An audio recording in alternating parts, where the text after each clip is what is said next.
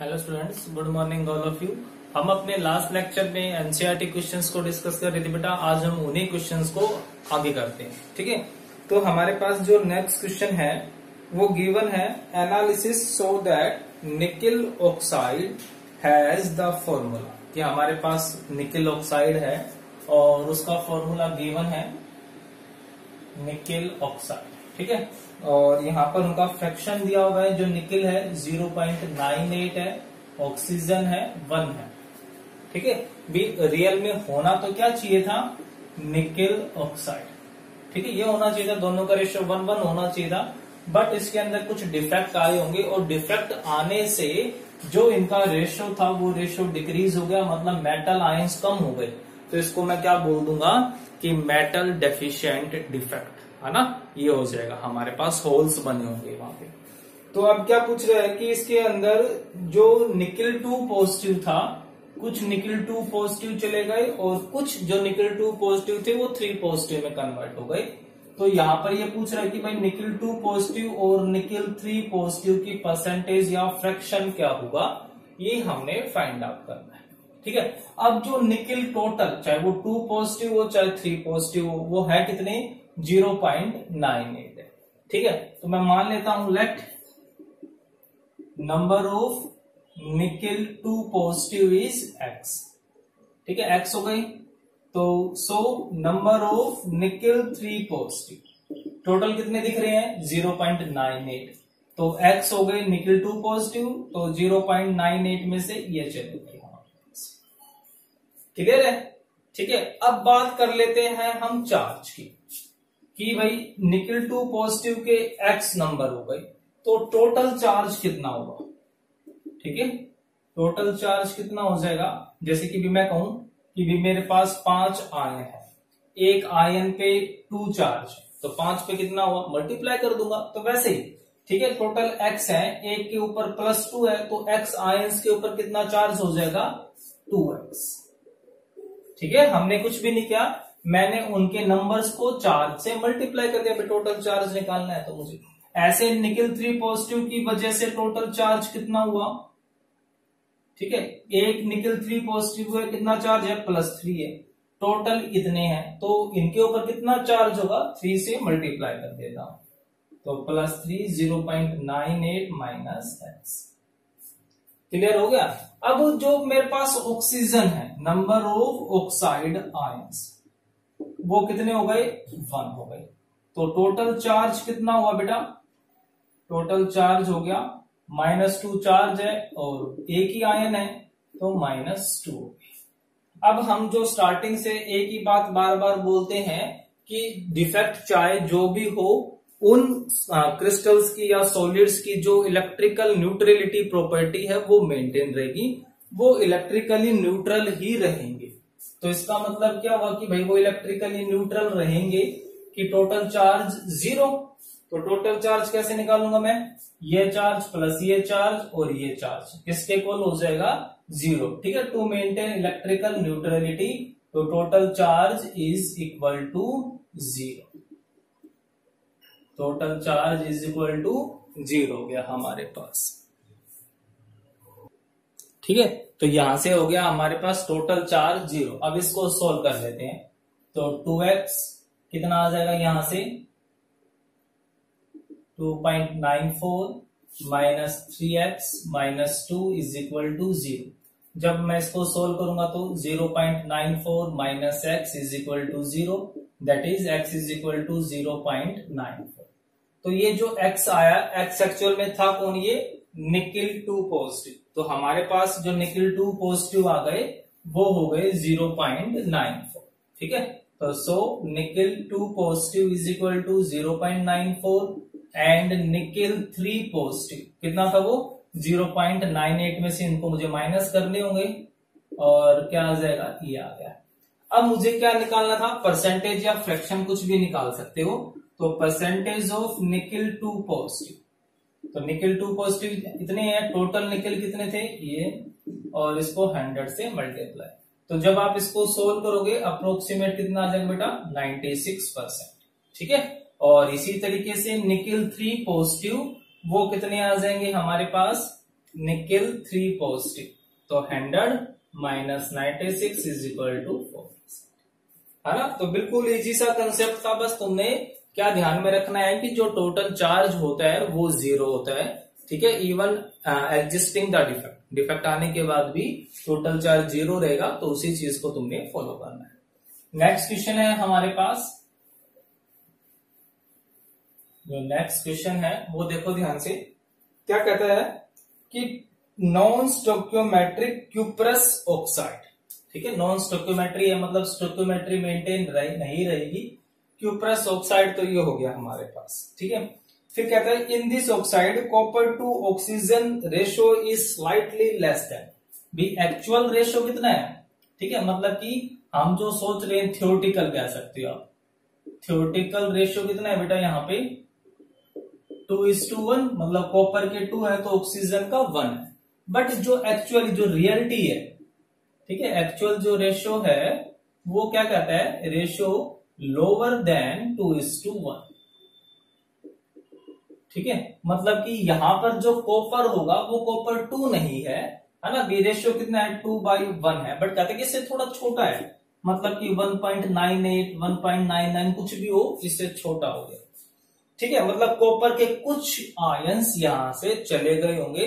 Copper plus one loss हुआ होगा, और फिर कुछ copper plus one plus two में कन्वर्ट हो गए होंगे ना? मेटल डेफिशिएंट इफ़ेक्ट तो can you account for the fact that this substance is a P type semiconductor तो जब उसके अंदर वैकेंसीज बनेगी तो कह रहा है तो क्या आप कह सकते हो कि ये भाई ये पी टाइप सेमीकंडक्टर होगा?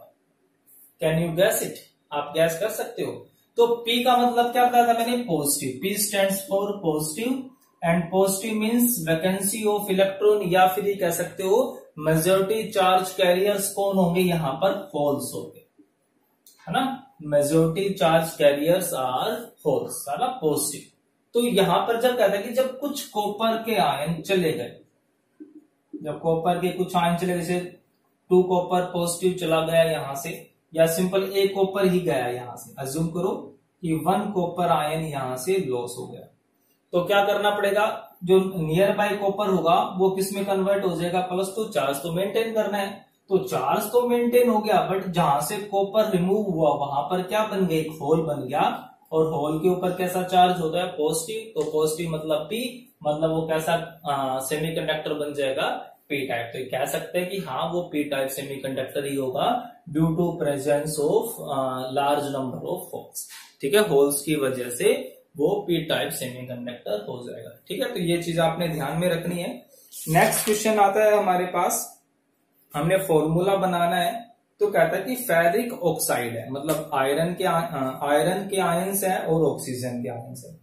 तो ferric oxide crystallize in a hexagonal close packed array of oxide ion मतलब कि जो ऑक्साइड आयंस है वो कहाँ पर प्रेजेंट है? एचसीपी लैटिस पे। ठीक है? With two out of every three octahedral holes occupied by ferric ions. तो जो फेरिक आयंस है, वो कहाँ पर है? वो प्रेजेंट है ओक्टाहेड्रल होल्स पे बट ओक्टाहेड्रल होल्स सारे के सारे ऑक्यूपाई नहीं है। क्या कह रहे हैं? टू आउट ऑफ़ थ्री मतलब तीन में से दो के ऊपर ही फेरिक आयंस है। ठीक है? तो मान लेते हैं कि let H C P lattice point कितने हो गई? हमें, मान लिया हमने एन हो गया। ठीक है? So number of oxide ions ठीक है ऑक्साइड आयंस थे एचसीपी लैटिस पे प्रेजेंट है तो जितने एचसीपी लैटिस है, उतने ही ऑक्साइड आयंस होते हैं। क्लियर है? अब हम क्या कह देते हैं कि जो फेरिक आयंस है, ठीक है? जो फेरिक है ferric ions occupy two third of octahedral voids ठीक है? सारे के सारे ऑक्यूपाई नहीं किए उसने लिखा हुआ साफ़ साफ़ टू आउट ऑफ़ थ्री कि तीन में से दो के ऊपर कौन प्रेजेंट है? फेरिक आयन तो so number of ferric ions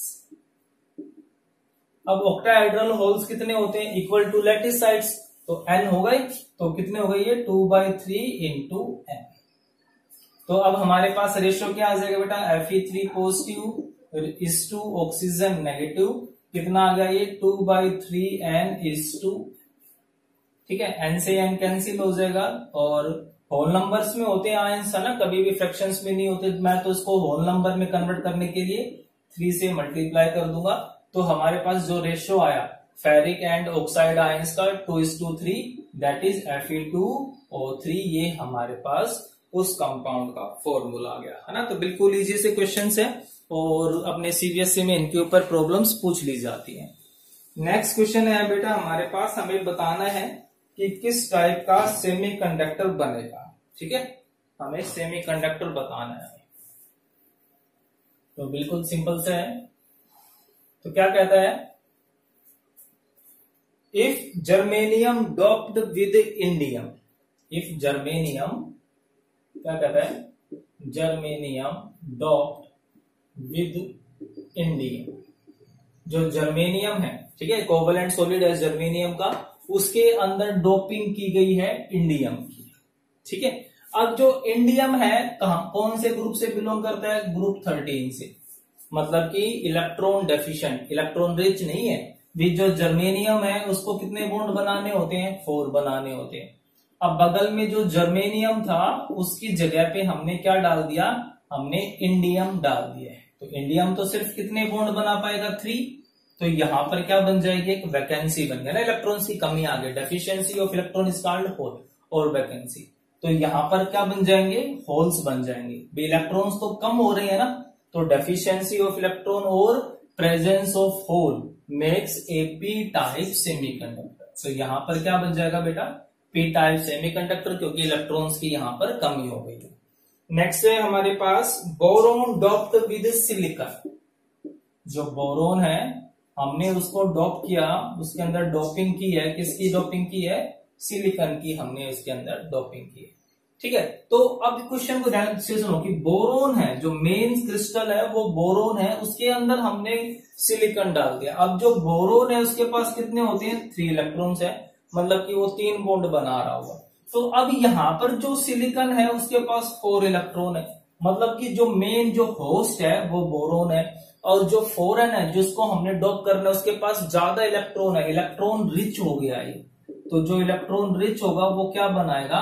N type इसको तो तीन बोर्ड बनाने ना तीन बोर्ड तो बना लेगा। एक इलेक्ट्रॉन फ्री रह जाएगा मतलब majority charge carrier are electron and so this is called N type semiconductor ठीक है? तो हम उसको क्या बोल सकते हैं? उसको एन टाइप सेमीकंडक्टर हम उसको बोल देंगे।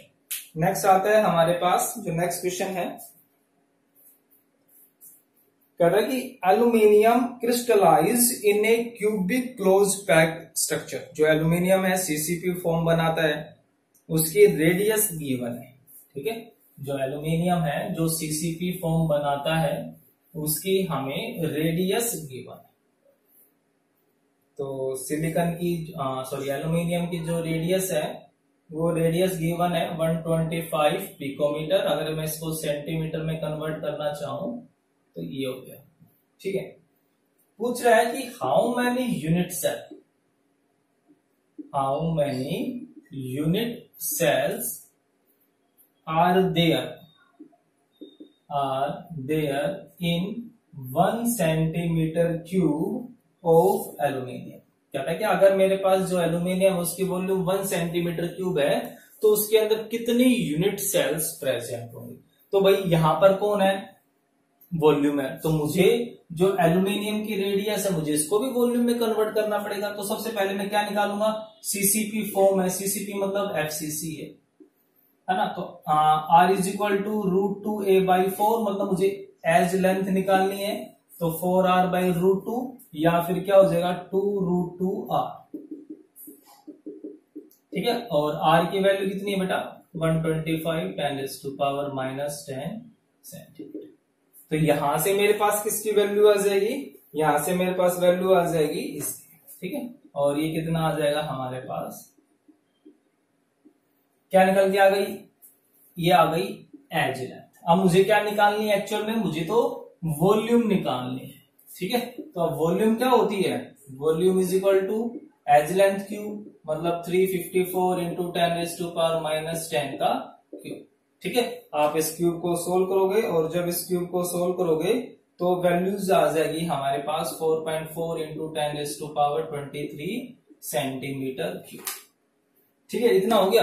अब हमने क्या करना है? अब ये कह रहा है कि भाई, ये तो हो गई जस्ट एक यूनिट सेल की वॉल्यूम हो गई। अब हमारे पास जो टोटल वॉल्यूम है वन सेंटीमीटर क्यूब तो वन सेंटीमीटर क्यूब के अंदर कितनी यूनिट सेल्स होंगी?